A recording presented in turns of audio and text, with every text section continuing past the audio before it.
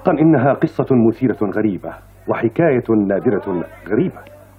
الغرابة يا شهبندر في حكم قاضي القضاة فقد أقر وصاية أبي الفتح على الجواهر والماسات حتى يظهر للمتوفى أي وريث من بعيد أو قريب. هذا فعلا عجيب. فالرجل عن المدينة غريب ولكن ما حجة قاضينا الأريب؟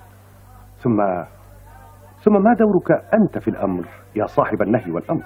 إنه لا يتعدى دور المراقب للوريث الغائب الذي قد يظهر فجأة ويطالب وهل تراه سيظهر؟ ماذا تعني يا شهبندر؟ أعني إذا ما ذاع الخبر في المدينة وانتشر م. فسيظهر للمتوفى ألف وريث على الأثر هذا مستحيل فلن يتم الأمر إلا بعد التحقيق ولن تسلم الأموال إلى الوريث إلا بعد التأكد والتدقيق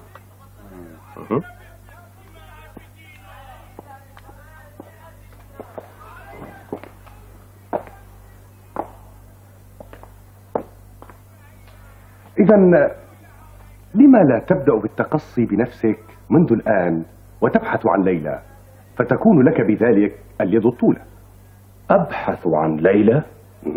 ألم تقل إن ليلى اسم زوجة المتوفى؟ صحيح صحيح. ولكن ترى كم ليلى في هذه المدينة؟ إنهن كثيرات ولا تكفي لحصر عددهن سنوات وسنوات. اسمع مني يا صاحبي هذه النصيحة. إذا أردت أن تشتغل وفق الأساليب الصحيحة عليك أن تتبع خطى أبي الفتح وتراقبه. وحذار حذار أن تأمن جانبه. فلعله عيار محترف أو لص منحرف. راقبه أنت بذاتك وأفهمه مدى سلطتك وعلو منزلتك. صدقت. صدقت أيها الشهبندر سأولي الموضوع أهمية أكبر.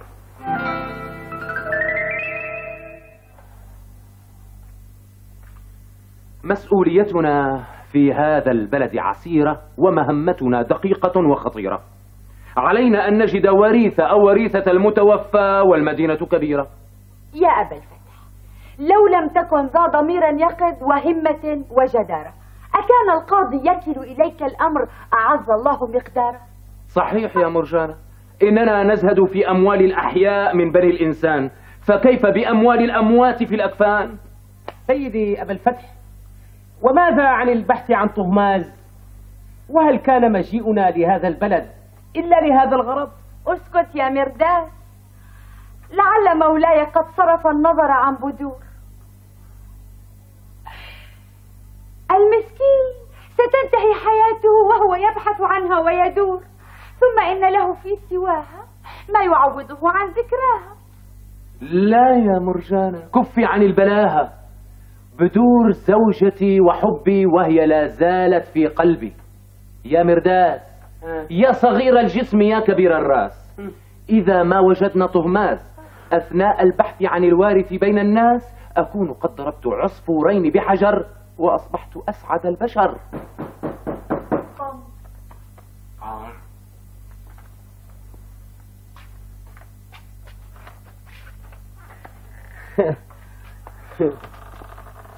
السلام عليك يا أبا الفتح.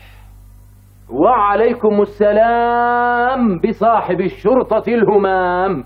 يا من يصون العهد ولا يغفر الذمام؟ تفضل. جئتك ببعض الطعام ليكون بيني وبينك إدام. نتناوله معا ونتحدث في أشغالنا باتفاق وانسجام.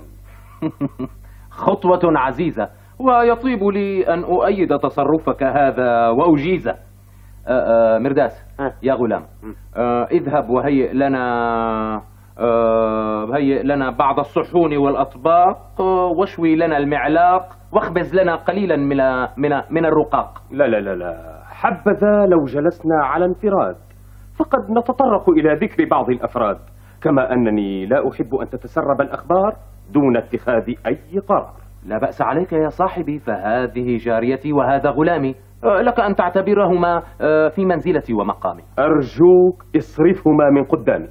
فقد اعتدت أن أبحث أموري بسرية بمعزل عن الآذان الفضولية لك مطلق الحرية والصلاحية. أرجو أن تخرجا ولا تنزعجا.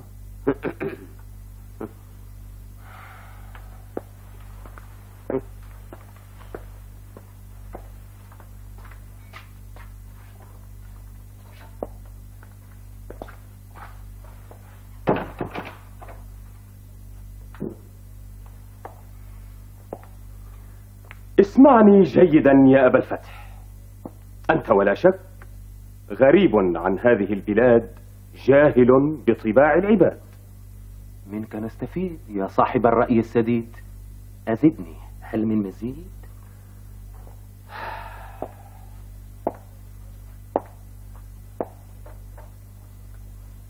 أهل هذا البلد عجبون في عاداتهم متفردون في أخلاقهم.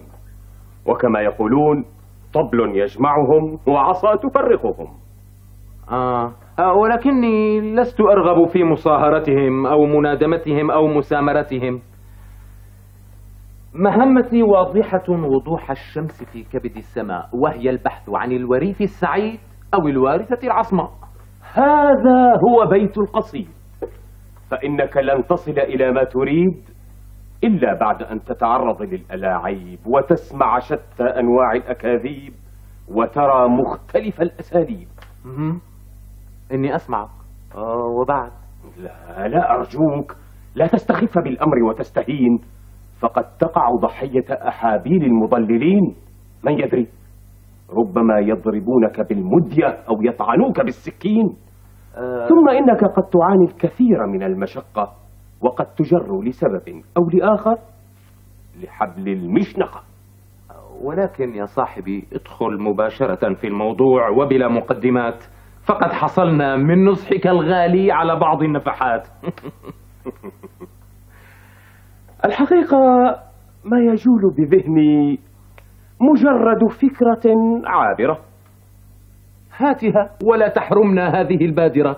من يدري لعلها ذات قيمة باهرة. وإذا لم تكن فسوف نعتبرها آه، آه، فكاهة أو نادرة. ما رأيك يا أبا الفتح؟ لو تدارسنا فكرتي معا وخططنا لها. حتى إذا ما نضجت وآتت أكلها سرعان ما نلتهمها أنت وأنا دون أحد يقاسمنا.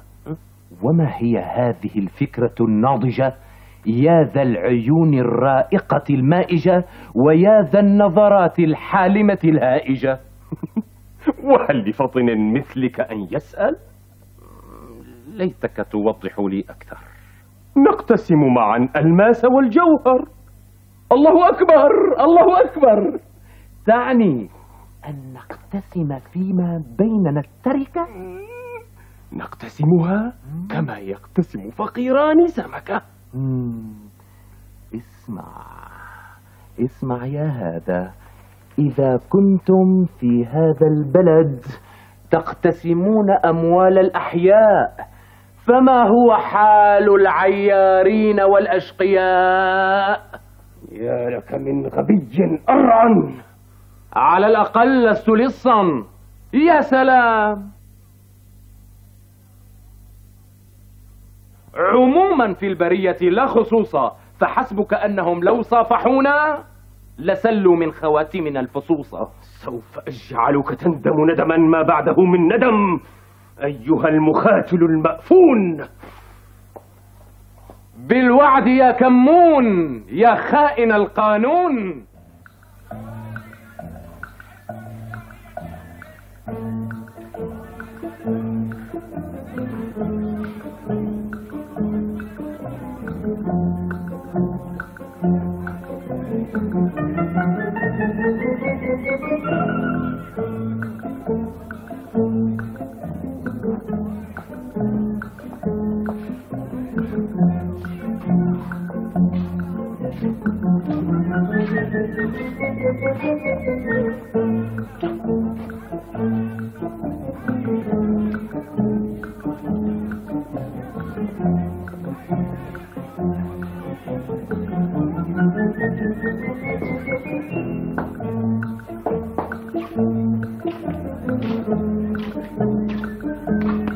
ها قد وقعت بيدي أخيرا يا أبا زين لابد أن تدفع ما عليك من دين.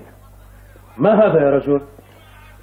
ومن هو أبو زين هذا؟ أه، سامحني يا رعاك الله. إن قفاك يشبه قفا أبي زين يا سبحان الله. لا بأس عليك. في المرة القادمة افتح عينيك وإلا صلمت لك أذنيك. أشكر لك لطفك وأستميح ثانية عفوك. أتظن أن الأمر التبس علي يا أبا زين مهما تنكرت وتخفيت لابد أن تدفع ما عليك من دين. أتراني حقا أبا زين؟ أم أنك زاهد في هاتين؟ عدمت العافية يا صاحبي إن لم أكن قد حسبتك أبا زين الخاطن إلى جانبي. سامحني ودعني أبوس خدك وهاتي أقبل يدك. أستغفر الله العظيم ولكن إياك أن تحاولها ثانية معي. آه يا سيدي لو تعرف حالي مع أبي زين جاري لقد استدان مالي ثم ثم لا أريد أن أعرف. هيا أغرب عن وجهي وانصرف. هيا. يا أهل السوق يا أهل النخوة والوجدان أنقذوني من هذا الإنسان. لقد سرقني استدان مالي وأفلسني وكلما طالبته نهارني وضربني أريد مالي من أبي زين لقد استدان مني مرتين. يا أهل السوق يا أهل ابتعد ابتعد ابتعدوا ابتعد أيها الأحمر. هيا ابتعدوا ابتعدوا. ما هذا؟ لا تؤاخذه فهو أقرأ. أشكرك لمعروفك. أنا شهبندر التجار وهذا هو مجلسي مجلسي المختار وأنا أبو الفتح من قهندار غريب عن هذه الديار. آه إذا أنت هو أبو الفتح من أصبح وصيا على المجوهرات والماسات الخاصة بالغريب الذي مات. نعم أنا هو بشحمه ولحمه. مم. آه ما رأيك لو نرتاح قليلا؟ فإن لي معك حديث أه أه أرجو أن لا يكون طويلا. تفضل.